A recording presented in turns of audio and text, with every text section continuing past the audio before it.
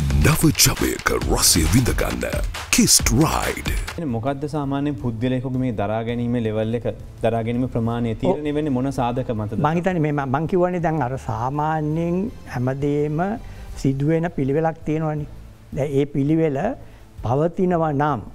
එතකොට තමන්ට ඇත්ත වශයෙන්ම ඒක එච්චර ප්‍රශ්නයක් විදිට පේන්නේ නැහැ මොකද හේතුව ඒ හැමතිස්සේම තමන්ගේ හැඩ හැඩගැහිල තියෙන පරිසරය වේගෙන් වෙනස්වෙන් නැතුව හදිසිය වෙනස්වෙන් නැතුව යම් ස්ථිතක භාවයක් තින ස්ථාවර භාවයක් තින.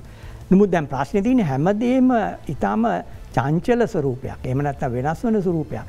එමනත්තං අපිට කලින් කියන්න බැරි විදිිය තත්ත්වයක් නිර්මාණය වෙන පරිසරයක් තියෙනවා නම් ඒක ඇත්වශයෙන්ම නිරන්තරයෙන්ම පුද්ගලයට බලපානු.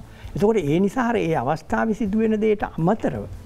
අපි දම දැන් කෙනෙක් අතර බහිම් බස්වීමක් සිදුවනොත් අපිට පේන්නේ බහිම් බස්වීම විතරනේ. නොමුත් එතන ඒ පුද්ගලෙන් දෙන්නගේ පිටි පස්සේ තිබුණු අනිකුත් දේවල් අපිට පේනෑ නේද.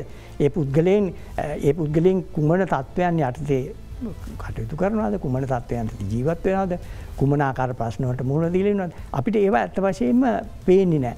නමුත් මේ සියල්ලේම එකතුව නිසා තමයි අත්ත වශයෙන්ම මේ ප්‍රශ්නවලට මිනිස්සු මුහුණ දෙන්න.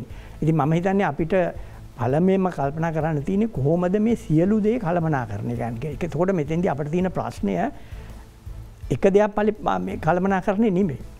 අපි මේ අර්බුදය ගත්තොත් මේ අර්බුදය විවිධ පැතිකට තියෙනවා. මේ අර්බුදය විවිධ පැතිකට පාලනය කරන්නට ඕන මෙහවන්නට ඕන කළමනා කරණය කරන්නට.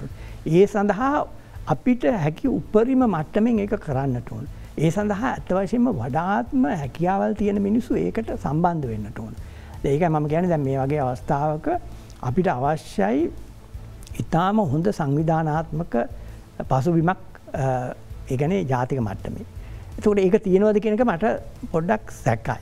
ඒගැන මට හිතෙනවා අපි මේ වගේ විශාල අර්බුදයකට මුහුණදීල ඉන්න අවස්ථාවක වුණත් අපේ ආයතන කොච්චර අපි සක්‍රියව තියාගෙන ඉන්නවාද.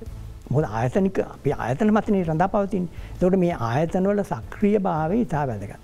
එතකොට ආයතනිකවල සක්‍රිය භාවය රඳා පවතින්නේ විශාල වශයෙන් ඒ ආයතනවල ඉන්න පිරිස් මත. ඒකම ඒ ආයතනවල ඉන්න පිරිස් විවිධය ගන්න තීරණ මත. එනිසා මංහිතන අපි මෙතෙන්දී තාමත් ප්‍රශස්ත කළමනාකරණ රාමුවක් හදාගන්නට ඕන. රාජ්‍යටද මේක යෝජනාව? එමනත්තන්න පැදිලි ප්‍රධාන වශයෙන් රාජ්‍ය පමණක් නෙවෙයි. නොමුත් ප්‍රධාන වශයෙන් රාජ්‍ය මොකොද හේතුව අපි දන්නවා? ජාතික ප්‍රශ්න කළමනා කරණය සඳහා තමයි අපි විවිධ රාජ්‍ය ආයතන පිහිටුවලතින් ඒ.